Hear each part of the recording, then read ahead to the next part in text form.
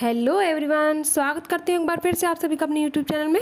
तो आज मैं आप सभी के लिए लाई हूँ बीन्स की मसाला रेसिपी तो देखिए, खाने में बहुत टेस्टी लगती है और आप चाहे तो इसे लंच बॉक्स में दे सकते हैं और चाहे तो डिनर में दाल के साथ या किसी भी रेसे वाली सब्ज़ी के साथ सर्व कर सकते हैं। तो ये मैंने किस तरीके से बनाई है, आज मैं आप सभी को बताऊँगी इसकी रेसिपी तो सबसे पहले मैंने ये बीन्स ले लिए इसको बिल्कुल बारीक बारीक काट लिया है। ये मैंने ले लिया आलू।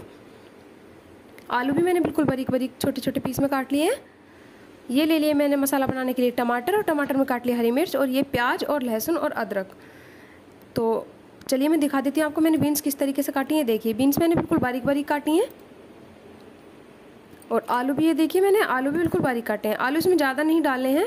अभी देखिए मैंने बीन्स में सिर्फ़ दो आलू डाले हैं छोटे साइज़ के। तो अब हम मसाला तैयार कर लेते हैं। मसाला तैयार करने के लिए मैंने टमाटर, प्याज, हरी मिर्च, अदरक, लहसुन और ये करी पत्ता थोड़ा सा डालकर जार में रख लिया और अब इसी में मैं अपने सारे मसाले ऐड कर लूँगी। देखिए, सबसे पहले मैंने नमक डाल लिया है। हल्दी। धनिया पाउडर।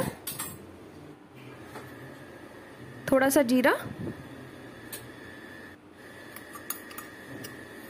थोड़ी सी हींग। और अब डाल देंगे थोड़ी सी कश्मीरी लाल मिर्च। और अब हम इसका थोड़ा, हल्का दरदरा पेस्ट तैयार कर लेंगे। ये देखिए पेस्ट तैयार है अब हमारा। तो अब हम इसे फ्राई करने की तैयारी कर लेते हैं। करने के लिए कढ़ाई ले लेते हैं। तो ये मैंने लोहे की कढ़ाई ले ली है और इसमें चढ़ा लूँगी सरसों का तेल। देखिए, लोहे की कढ़ाई हैवी होती है तो इसमें चिकनाई बहुत ही कम लगती है और हमारी सब्ज़ी बहुत जल्दी तैयार हो जाती है। ये डाल दिया है मैंने तेल गर्म होने के बाद जीरा। जीरा डालने के बाद चटक जाएगा ये तो उसके बाद डाल देना हमें अपना मसाला। और इसे बराबर चलाते रहना है। देखिए, लोहे की कढ़ाई हैवी होती है तो इसमें मसाला बहुत ही जल्दी भुन जाता है और कढ़ाई में चिपकता भी नहीं है और चिकनाई भी इसमें कम लगती है और खाने की न्यूट्रिशन वैल्यू भी बढ़ती है। तो ज़्यादा से ज़्यादा कोशिश कीजिए कि अगर आप लोहे की कढ़ाई यूज़ करें खाना बनाने में तब तो आपको दिख जाएगा, जब हम, हमारा मसाला भुन जाएगा तो ये चिकनाई छोड़ने लगेगा। अब इसमें हमें कोई भी मसाला ऐड नहीं करना है, क्योंकि मसाले ऑलरेडी हम डाल चुके हैं। तो ये जब हमारा मसाला भुन जाएगा तो इसमें हम सबसे पहले अपने आलू ऐड कर देंगे। अब ये मैंने आलू डाल दिए हैं, इसे अच्छे से चलाते हुए, अब हम इसमें डाल देंगे अपनी बीन्स। ये देखिए, मैंने बीन्स भी डाल दी हैं, अब अच्छे से मिक्स कर देंगे, और चाहें तो आप हल्का सा मिक्सी का जार जिसमें आपने मसाला लिया था, धोकर इसमें डाल सकते हैं पानी, बहुत ही हल्का सा।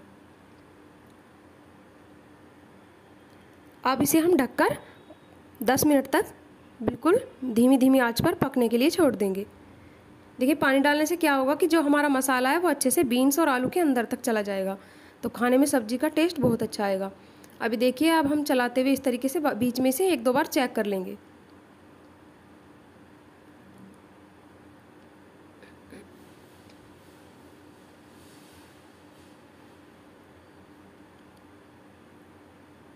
अब हमारी सब्ज़ी तैयार नहीं है तो हमने फिर से ढक दिया है।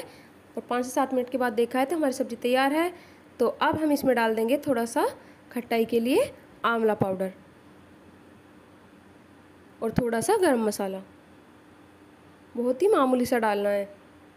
और उसके बाद अच्छे से मिक्स करने के बाद ये देखिए हमारी सब्ज़ी तैयार है। Thank you so much guys